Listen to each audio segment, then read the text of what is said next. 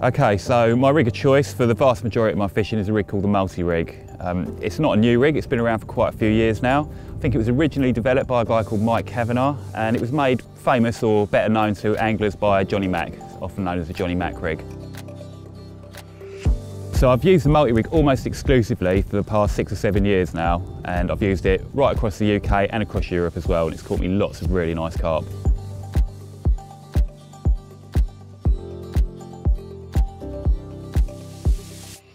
So there are several reasons why I love the multi-rig.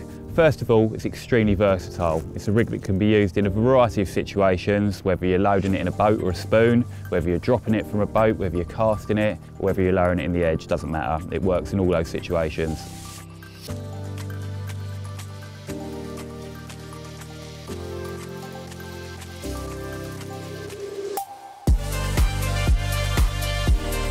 So yeah, there are several advantages to the multi-rig. Uh, first of all, and importantly for me, because I hate tying rigs, it's really easy to tie.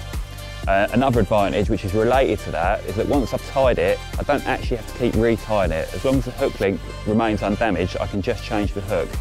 Now I use Skin Link, which has got a really robust coating on it, and that coating very rarely gets damaged or breaks. So I can get several fish, several casts, several situations of the same hook link, just by changing the hook when I need to.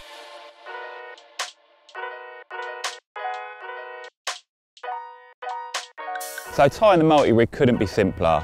It's uh, simply a case of taking your chosen length of hook link and tying an overhand knot in each end.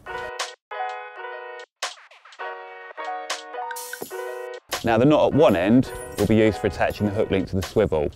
At the other end, the length of that overhand knot that you tie will dictate how high the pop-up sits off the bottom. In the spring, I like to use it with a pop-up fish quite high, especially as a single, um, pretty much like a stiff hinge rig.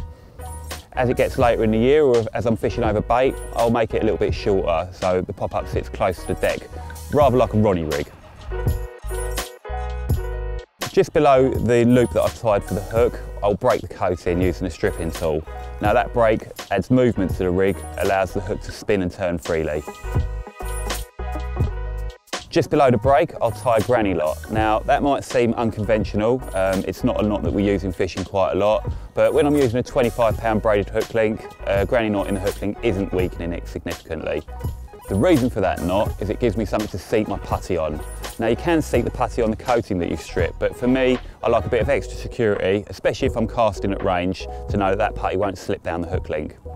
Now, some people would like to balance it, but I tend not to. I prefer to have it slightly overweighted because I don't want the rig wafting around when the fish are feeding. In some situations, when I'm fishing crayfish infested waters, I'll swap that bit of putty for a split shot.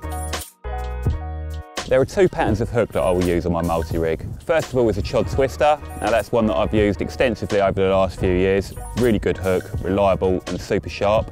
The second is a chod claw, which is a new pattern to the range the main difference between our claw hook and the chod claw is that it now features an outturned eye, which makes it suitable for fishing stiff rigs, chod rigs, or indeed on my multi-rig. I like the chod claw because it's got a beak point. Now that beak point can be an advantage when you're fishing barbless hooks or if you find yourself suffering from the odd hook pull. I tend to use quite a big hook on my multi-rig, usually somewhere between a size 4 and a 6. Now that depends really on the size of fish that I'm looking to catch. You know, if I'm fishing for really big fish, I'll opt for a 4.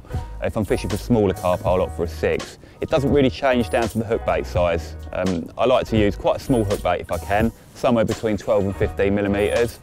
But that hook bait can vary greatly. You know, one of the advantages of the multi-rig is that the versatility allows you to fish lots and lots of different hook baits depending on the situation. So I could be fishing anything from a match to hatch pop-up to a bright citrus pop-up to a tiger nut to a, a boilie on the bottom. You know, again, another advantage of the multi-rig is it's not just a pop-up rig. If I find myself in a situation where I don't think a pop-up's the right way to go, then I can very easily just take my pop-up off the bait screw and mount a bottom bait instead. The rig equally effective as a bottom bait as it is a pop-up rig. So my method of choice for mounting my hook bait on a rig is a bait screw. Now the bait screw is extremely versatile. Again, it allows me to mount lots of different baits really, really easily. One thing you may notice is a little bit different about my multi-rig to other multi-rigs is that it's got a bore bead on the shank of the hook. Now that bore bead helps to maintain the shape of the D section on the back of the hook. It stops it pulling back to the eye whether you're casting or, or dropping it in. At the other end of my hook link, the second large overhand loop is for attaching my hook link to the lead setup. Now you can use any setup that you feel confident with, but personally I prefer to use an inline drop-off setup. Again, it's a very versatile lead setup. I can use it whether I'm casting, whether I'm dropping it, whether I'm lowering it in the edge. It's anti-tangle and it's extremely effective and it's safe. So for me, the multi-rig is the ultimate take anywhere rig. It's super versatile. I can change the hook really easily. I can swap my hook baits over and it's caught me loads of really nice carp.